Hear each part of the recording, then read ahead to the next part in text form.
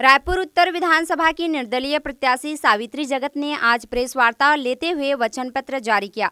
वार्ता को संबोधित करते हुए जगत ने कहा कि उनका सबसे बड़ा मुद्दा क्षेत्र में संचालित हो रही मंदिरा दुकानों को बंद कराने का है, जिससे अपराध का ग्राफ अपने आप कम हो जाएगा। उन्होंने बताया कि लगातार रायपुर पुलिस की शिकायतें प्राप्त हो रही है कि पुलिस महिला संबंधी अपराध को गंभीरता से न लेते हुए बदमाशों पर नकेल कसने में नाकाम साबित हो रही है।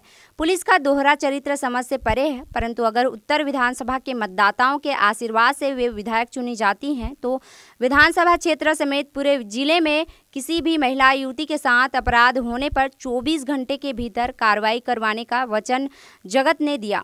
जगत ने अपराध पर ज़ीरो टॉलरेंस नीति के साथ उत्तर विधानसभा की तरक्की करने की बात कही।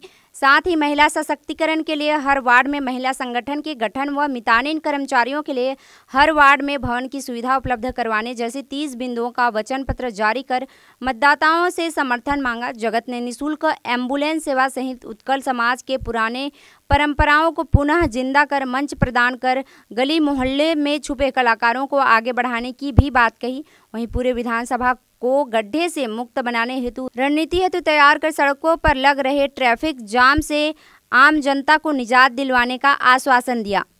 आज मेरा वचन पत्र जारी हुआ है और मेरा वचन रहेगा और जनता का शासन रहेगा। आज वचन पत्र में मैंने जारी किया महिला सुरक्षा, महिला सम्मान, महिला की सुरक्षा के लिए हमेशा तत्पर खड़े रहना।